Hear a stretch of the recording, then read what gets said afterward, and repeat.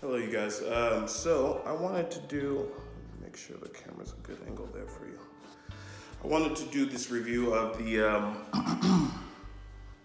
or how should I say it? Why the Zack Snyder's Justice League is the best superhero movie to date. Um, where should I begin? I, I don't have infinite time, so I'm just gonna try to break it down. Um, first, we have to start with my statement. I said it's the best, right? So there's many, obviously, other superhero movies. Um, there's all the Marvel movies, Thor, Avengers. Um, and so I will say that previously I had probably tied maybe the Dark Knight um, series with some of the Marvel series. So before I even get to talking about Avengers, and I know this is supposed to be about Justice League, I'm gonna say that my favorite movies were probably Dark Knight and um, the Iron Man movies, especially when they first came out, and then also um, the Thor movies. Um, so um, those those were my favorite movies up until this one. And uh, so I think I might have seen the original two hour version, but it didn't really stick in my head. I also liked Man of Steel. I also liked, um, whatchamacallit, uh, Batman versus Superman. Um, I thought those were, those were both cool. So anyway, um, other things to get into why I think this one, I haven't even really talked about why this one, I loved how long it was. Uh, the length was beautiful. I love sitting there for a four hour movie. I thought that the costumes were really well done. I thought that, you know, obviously you look at the, the Justice League, they could defeat the Avengers. The Justice League could defeat the, the Avengers. I, I mean, I'm not, I'm just saying, anyway, okay. And then you look at the way these things are filmed. From Man of Steel, okay, the way they really showed the power of Superman and then you get into the really good storytelling because everyone gets into how Superman is like overpowered and everything like that. But that doesn't mean he was dead. You know, he's dead in the beginning of the thing. He's dead for most of the thing. That doesn't get into the real things of life. Anyone can be whatever, but there's still going to be circumstances. And, and storytelling in DC uh, around Superman has always been exemplary. Um, it's always been amazing. I think everyone has come at it very thoughtfully, thinking about how can we write a, a compelling story about the person who's super duper strong. But even the way they film, from Wonder Woman and Wonder Woman, this was be- her best movie, um, definitely. I saw the new Wonder Woman. I saw the the. Uh, no, no, I haven't seen the new Wonder Woman. I saw the um, the older one. I haven't seen the new Wonder Woman, so I can't say this is her best movie, but it's better than the first one and the, and her appearances in the other one. But she's those were good too. But they did such a good job of creating her as a character. I will say they should have done a Flash movie. Um, they should have done a Cyborg movie, um, in my opinion. And if they're not going to, I know that they might do a Flash movie. That'd be cool. Um, and they're gonna have to, but really the stuff that they tied in with the Flash, and there's gonna be some spoilers in this from here on out. So maybe talk about the movie a little bit. But um, the the actually, it's gonna be a huge spoiler right now. If you haven't seen it, get out of here. Now let's get into uh, the fact that I want to say what he does. I won't get too into it, but what he does at the end, as far as you can't really get into it, but his ability, and I think you should have seen it already because the movie is already out there. But him being able to literally run back in time. The movie's been out for two ye- for like three years. This guy every day. There's other people like year. no, okay, that's well. I, I apologize, but you're right back in time. I don't know what to tell you, but you knew it was gonna happen. You know, uh, but he didn't like run, run back in time. He Wait, literally created movie- I thought this the like past in front of him. No, it's an extended cut, I believe. So the extended cut is new, but not the movie itself. No, but it's like twice as long. So it's basically like a mo- new movie inside of a movie. Yeah. So, but um, yeah, yeah, man, they did some amazing stuff with Flash. So, but you gotta, you guys gotta keep going there with Flash. The Speed Force stuff needs to be really expounded on. The, the DC TV show did a pretty good job of that. DC is actually, to me, the reigning champ when it comes to comic book stuff, and you know, like the depiction of Batman. Um, of course, there's been many iterations of Batman, and this one is very interesting. But I think it fits um, pretty close to perfectly. And having Ben Affleck do the whole Robert Downey Jr. role of being, you know, the of caring, you know, as far as acting credibility, I think is a pretty good call. I, I, I you know, um, and so I am just saying I like everything they did. The the expansiveness on it, onto Alfred's role in this one was really cool. Uh, what else can I say about um, why it was awesome? I loved uh, the the action sequences, the teamwork there was way better to me than anything that ever happened in the Avengers. Um, I thought the cinematography was better. It was a perfect balance of modern, had some of the Dark Knight cinema, cin, cin, cinema stuff, but even took it a little bit, uh, mellowed it slightly, and then added even you know wider, more expansive scenes in certain ways. I think they could have spent a little bit more on the in between um, implications of being some of these people. You know, like you know, how does Batman really like be thoughtful? How does he really wake up? You know what I mean? I think it's uh, how does Cyborg maintain that edge up? I think his robot is cutting his hair for him. Include these things. Simple, thoughtful, cost money, but do it because I want to see it. And um, but they could have. They did such a good job. I'm literally talking about taking this movie into six hours, eight hours, which it could have easily been and would have been deserved because this is the Justice League. Okay, if the Avengers, which honestly the latest executions of Avengers, amazing, don't get me wrong, but they were a little bit on the Transformers side of what it means to be an action movie.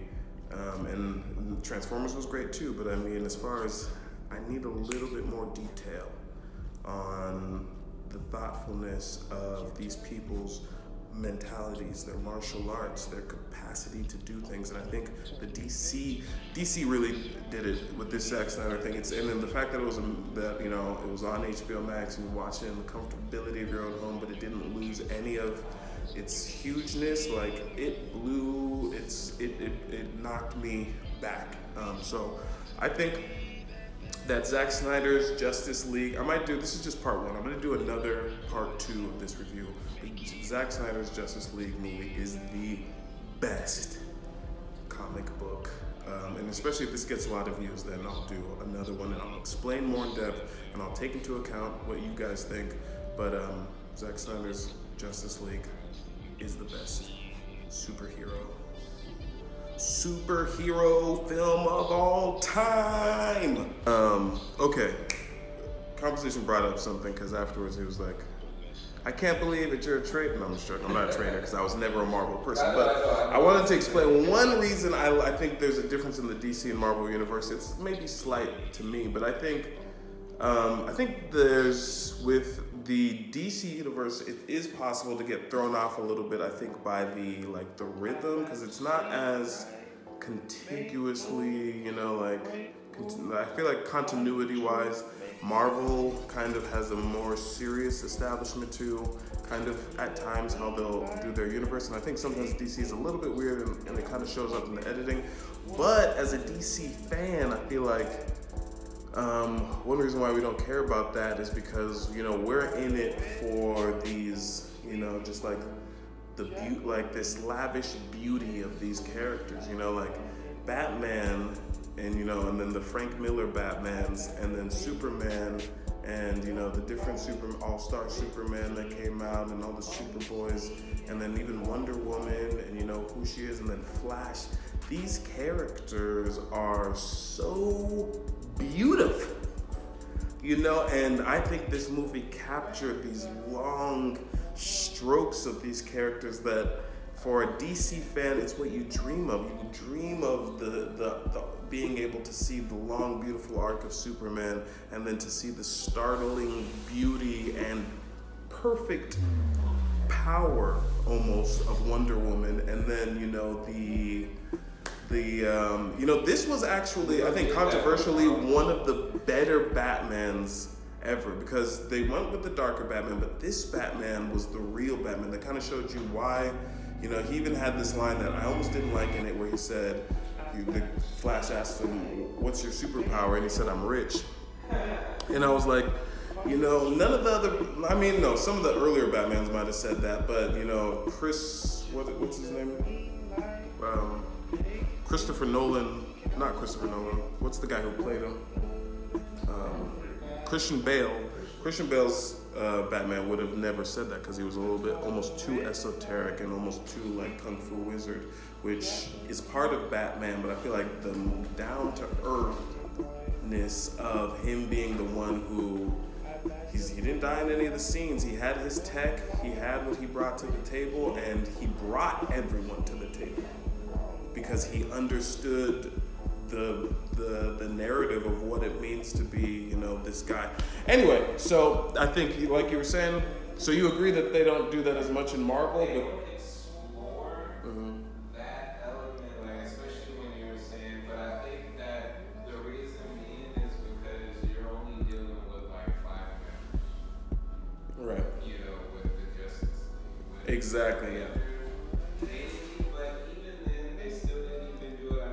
I mean, they're I kinda think they- where- now that you know, but she's already like in the cinematic universe. She's already like fucking dead and shit. But you know, other than that, they don't. They kind of bits and pieces. They kind of went in there with Captain America. Like they do the little backstories glittered. It's within the story and bits and pieces. I think. I think you know they just do it in a different way. Yeah, and you know, I think the where they did it really well in Marvel to me was Thor. Yeah. Thor was one of the the the best, even better than Iron Man. Iron Man they did, I feel like superheroing very well as far as balancing it with it with full blockbuster capability. Um, but they still didn't all the way go there with Tony Stark. Um, but they really kind of did it with Thor, um, except for the last one when they just did some random. But but yeah, there's fact that they can explore but it's but it- they're beautiful movies.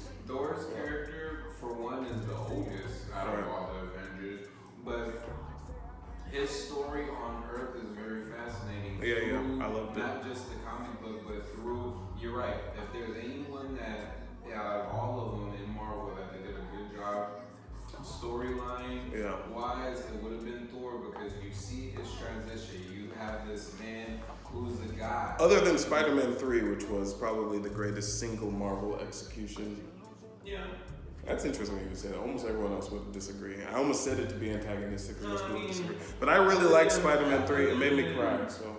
Other than Black Panther, and I'm that's my you know. Black bias on there Panther is there's cool. so many layers. I need to rewatch Black Panther. Holistically, there's like they that was like Marvel at its. Okay, but this is about Justice League. Justice League, the movie, why it was good, and so yeah, I think that's why it was good. Marvel does their job, and even comparing it to other DC movies, you know, I think the Dark Knight was cool, you know, very cool. I think the fact that they couldn't find a way to connect those two things, it was a little bit weird, but I think it turned out cool.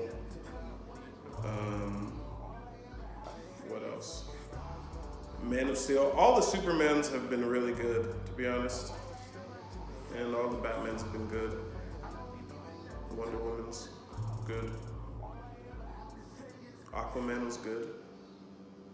Anyway, I'm not going to use this whole clip anyway, so goodbye.